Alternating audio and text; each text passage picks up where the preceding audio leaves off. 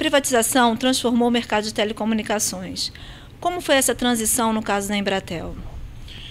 Bem, a privatização ocorreu há mais ou menos 15 anos. Né? A Embratel foi privatizada inicialmente é, pelo grupo MCI, WorldCom, e houve uma preparação é, da Embratel para essa privatização, principalmente envolvendo as áreas comerciais e, e trabalhando muito forte com o mercado massivo, porque até então a Embratel era considerada uma empresa voltada para o mercado corporativo.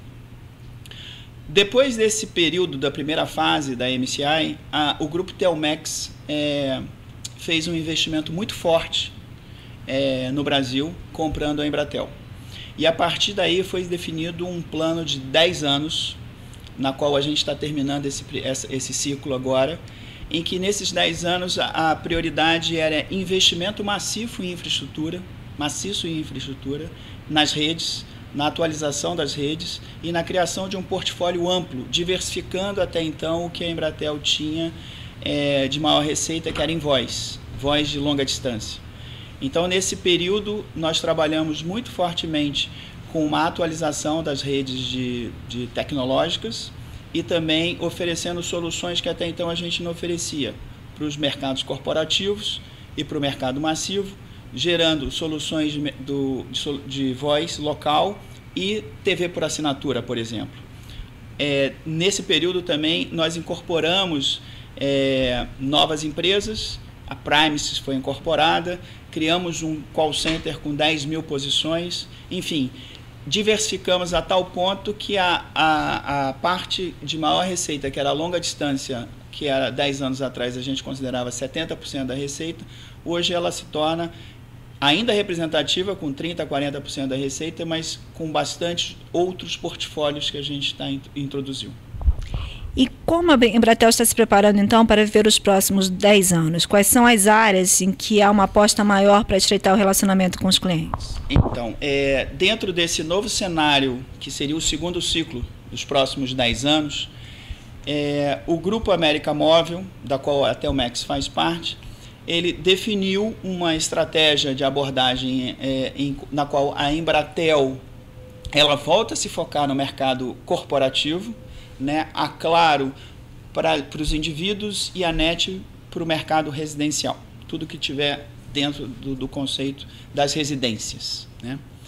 No que se refere às estruturas é, voltadas para a Embratel, toda a infraestrutura do grupo ela é de responsabilidade da Embratel. Então, todas as redes convergentes estão é, sob o domínio da Embratel no sentido de prover essa, essa solução de infraestrutura.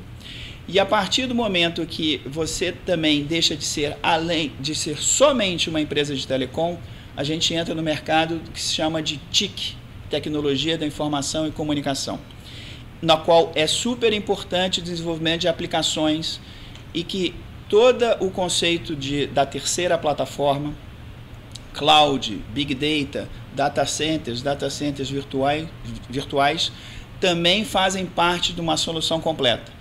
E aí a gente começa a desenvolver um, um amplo portfólio de TI junto com telecomunicações, que vão desde a segurança, partindo por um processo de MDM, mobilidade, é, todas as soluções que envolvem a, o cloud computing, enfim, é um portfólio amplo na qual a Embratel consegue tentar oferecer a melhor solução fim a fim para o cliente corporativo. Um dos desafios da Embratel é exatamente essa integração da oferta com as co-irmãs NET e Claro. Algumas ofertas já estão no mercado. Qual o papel da TI nesse, nesse, nesse cenário e nesse novo modelo de fidelização para os clientes? Bem, aí falando do mercado como um todo, a TI é, tem uma importância fundamental. Ela, ela é que gera a dinâmica da, e a velocidade que a gente precisa ter para desenvolver os novos serviços, produtos e as ofertas em si. É, a história de, de, de convergência de soluções não é de agora. Nós começamos esse processo já, inclusive, com a NET há mais ou menos oito anos atrás, quando foi lançado o Triple Play, a primeira solução de convergência, na qual a NET tinha a solução de TV e de banda larga e faltava a solução de telefonia. E o Netphone foi o primeiro produto efetivo que foi lançado dentro de um conceito de convergência, que é uma solução da Embratel, na qual foi oferecida dentro de uma, de uma, de uma estratégia de triple play. E em cima disso, todas as soluções envolvendo integração fixo-móvel para o ambiente corporativo, é, todas as soluções que envolvem a, a, a, interface com cloud, com data center e todas as aplicações, dependendo das verticais que a gente vai trabalhar com referência à segurança, à saúde, ao comércio, à parte financeira, são necessários um desenvolvimento de soluções de TI. E é a partir daí que a gente começa a desenvolver é, soluções um pouquinho mais direcionadas para cada um dessas verticais desse mercado. Na sua opinião, quais os principais entraves hoje para um investimento ainda maior em infraestrutura de telecom no Brasil? Bem, é, a, a indústria de telecomunicações é uma indústria de capital intensivo, ou seja, tem que se investir muito, né? o que a gente chama aqui de CAPEX. E toda essa indústria, e a Embratel é uma das que mais investe no Brasil, tanto o Grupo América Móvel é um dos maiores empregadores também. É, em todas essas indústrias, a gente sempre busca revisitar nas discussões de amplo fórum a questão dos tributos. Então, sempre é bem importante a gente trabalhar isso, porque cada vez com menos entraves é possível que a gente desenvolva e invista cada vez mais nesse mercado. E hoje, como está estruturado a empresa na, no sentido de priorizar os públicos-alvos? Existe uma priorização de determinados segmentos? Como isso acontece hoje dentro da Embratel? Então, é, a Embratel hoje ela, ela tem como missão atender de forma plena o mercado corporativo, o mercado das empresas. E em cima dessa demanda que é muito exigente, a gente é, complementa o portfólio, além do, da, das soluções de telecomunicações, com as soluções de TI e tecnologia, é, de tecnologia e de comunicação, que é o que a gente chama de TIC. A partir dessa, dessa premissa, uh, existe um grupo dentro da Embratel que são os consultores de soluções que trabalham muito fortemente em função das demandas desses grupos. E quando a gente fala das 500 maiores empresas no Brasil, a Embratel atende essas 500 maiores empresas com maior ou menor penetração.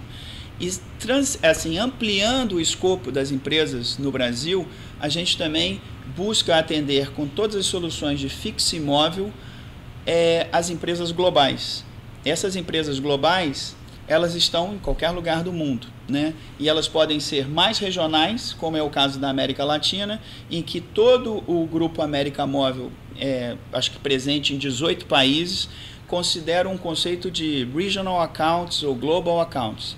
Em cima dessas soluções, a gente teria que oferecer a mesma oferta que nós temos no Brasil com as ofertas que existem na América Latina ou no mundo.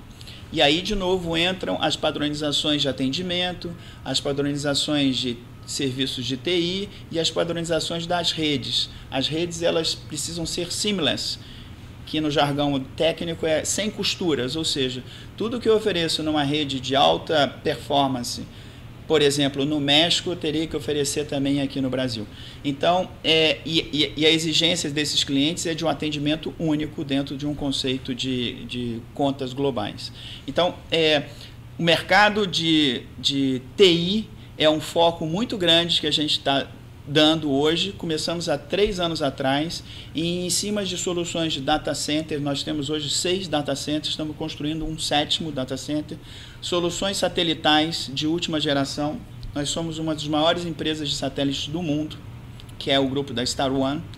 E, é, para finalizar, nós somos os responsáveis, patrocinadores das Olimpíadas Rio 2016, Embratel e Claro. E é assim, com muito orgulho que a gente conseguiu é, ser é, escolhido para fornecer esse tipo de solução. E é em cima disso que a gente está com a nossa bandeira de mostrar que é, se somos os responsáveis por fornecer essas soluções de telecomunicações móveis e fixas é, para as Olimpíadas, a gente tem condição de oferecer isso para qualquer cliente. Existe alguma região, algum país na América Latina que tenha um desafio tão grande quanto no Brasil, em termos de diferenças, de estrutura geográfica ou de população? Eu acredito assim, cada país tem os seus desafios, mas do ponto de vista é, da diversidade, do grau de competição, do, do tamanho dessa, desse país, o Brasil é, é singular nesse sentido. Então, é uma competição altíssima com soluções de, de, assim de último nível, por exemplo, no mercado financeiro, nós não temos em outro lugar do mundo tantas soluções sendo desenvolvidas de pagamento móvel, enfim, em que a indústria é muito forte. Eu não vejo é, comparativos, é, em, cada um com seus desafios, mas o Brasil ele tem tantas características e tanta competição que é único.